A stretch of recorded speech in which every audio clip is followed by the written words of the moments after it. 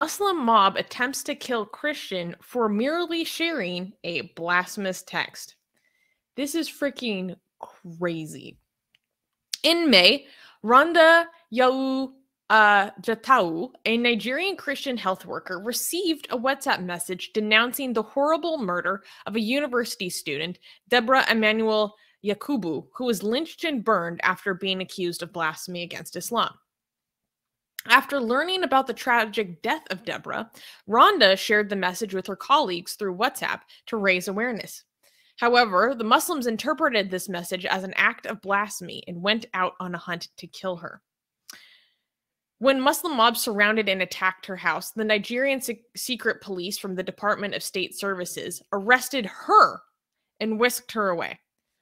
Jatau's lawyer, Joshua Nasara, said that since the arrest, Mrs. Jatau has been confined in prison over false allegations of blasphemy and charged with, quote, inciting public disturbance, exciting contempt of religious creed, and cyber stalking. The charges state that Jatau disrespected many religious figures of Islam and the entire Muslim community in a WhatsApp group with the quote intent to cause a religious crisis. Um, she has been held incommunicado for more than four months since her arrest on Friday, May 20th, with numerous illegal and intentional delays in her court proceedings. So let's just think about this for a second. According to the reports that I have read, her message, her crime is sharing a message that's saying, hey, lynching a woman for blasphemy is bad. Condemning condemning the death condemning the death of a woman who was stoned to death and set on fire for alleged blasphemy. There are people that say that that with Deborah, the first woman, what happened to her was that she rejected a Muslim dude and in response he accused her of blasphemy.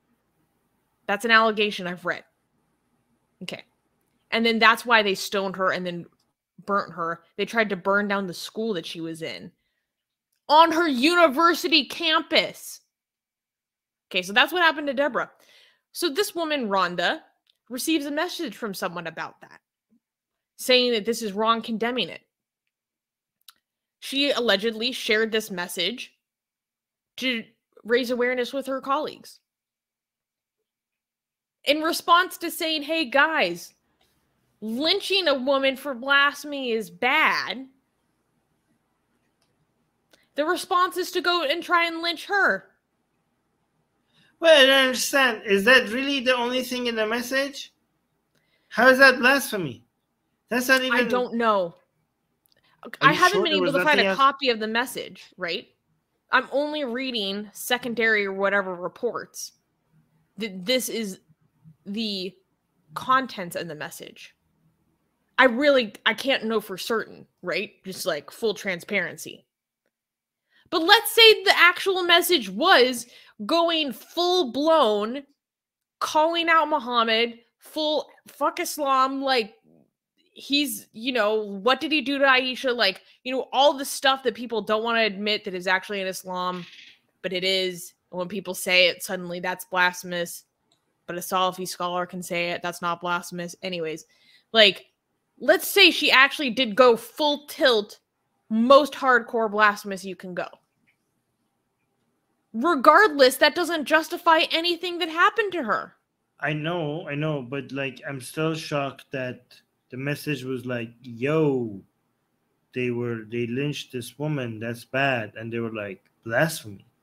I, the, the message must have been like something else about the like, oh, Islam is bad because it endorses this or something like that. It couldn't have just been. I mean, they wouldn't even Muslims wouldn't call that blasphemy. It's really hard like, to tell because most yeah. of the places that are reporting on what happened to Rhonda are like Christian news services. And hmm. so I get a very specific kind of information, if that makes sense. I haven't been able to find any sort of account of literally what was said, what was shared. And because of this mere accusation against her, when people went to go lynch her, she was the one that got arrested. Oh yeah, the government. And she's been detained illegally for four months now. Yeah, so there, so the, there's people who want to lynch her, and the government shows up, the police show up, and between the people who want to lynch a lady and the lady who's been accused of blasphemy, they arrest the lady, and she's in jail. Like not the people who wanted to lynch her. Yeah. She's in jail. hmm In Nigeria, who's not even an Islamic country, is half Islamic. This is what you get in a half Islamic country. It's half Christian. Half, like, what about the other half? The other half that's Christian is not going to come like it. This is our like what? Like how come According to one report I was reading today, N- Nigeria is the number one country for killings of Christians. Yeah, I mean, is the is the other half that is Christian just gonna take this? Like, what is happening there? Like, do they have no authority in the government? Well, Is remember we talked about yesterday how even in the areas, the southern states that are more Christian dominated, even they experience high rates of Christians and pastors being kidnapped and murdered for the sake of bolstering the kidnapping economy. Yeah. Okay. Yeah, Nigeria is like I was very hopeful about Nigeria. I don't know what the hell.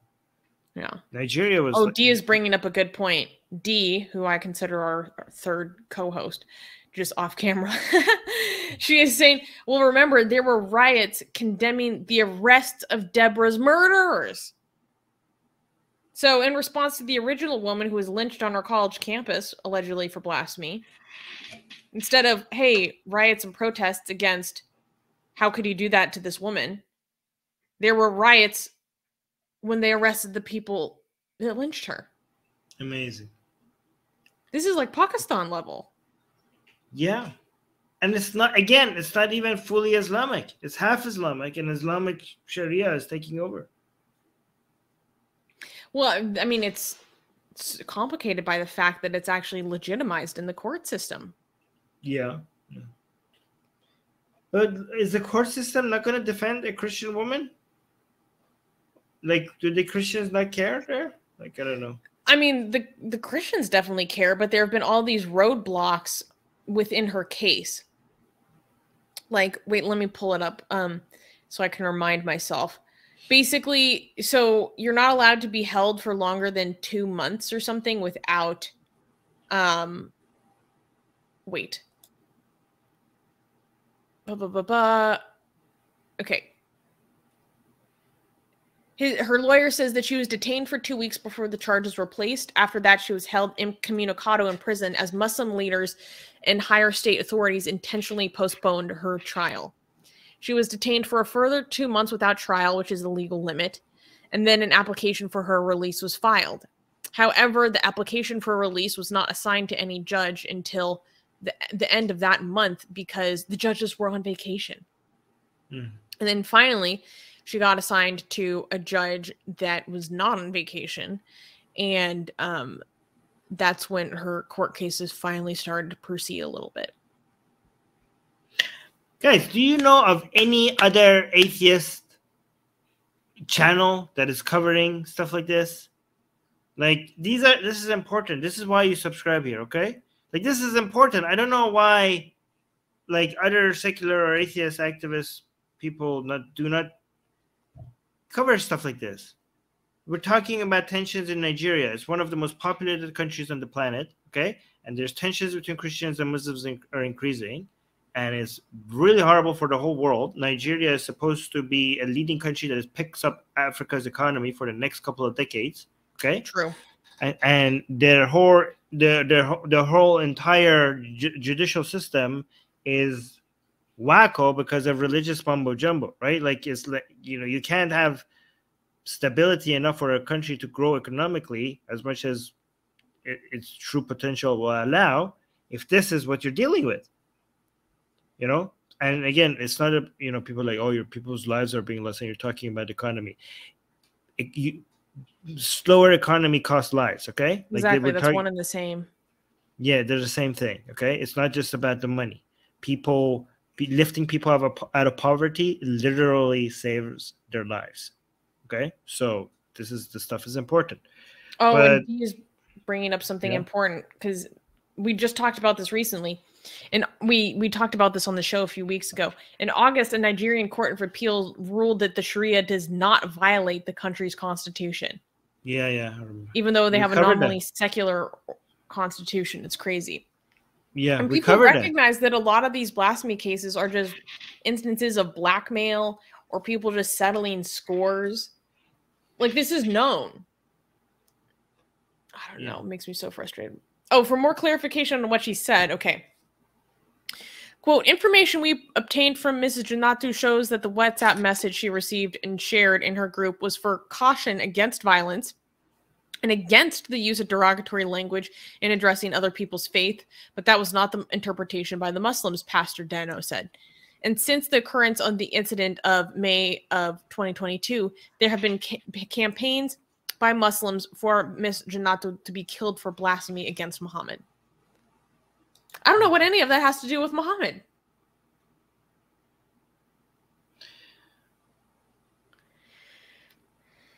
We just got a hundred dollar super chat by Secular Sakai. Oh my god! Thank you Like- so much, Secular Sakai. Wow. Read that. Oh, he's saying life gets busy for me, but I will always support Atheist Republic's work. Keep the world honest, keep the world informed. Oh my god! That is very generous. Thank you. Thank you. He's saying, "Wow, Secular Sakai." That's a that's a that's a that's very generous. Thank you so much. Yes, yes, yes. Thank you so much. Yeah. Um, in fact, I think we should put that super chat towards something that we are going to be talking about today.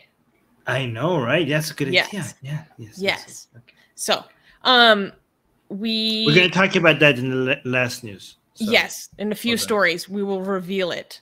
Um, but we have a, an amazing project that we just started. You can now get the sexiest blasphemous art ever known to mankind for free. Too sexy to show most of it here on YouTube. We draw Muhammad, Hindu goddesses, sexy hijabi art, Jesus, Mother Mary, Japanese god, Greek gods, and much, much more. Click on the link below where it says get our free blasphemous art.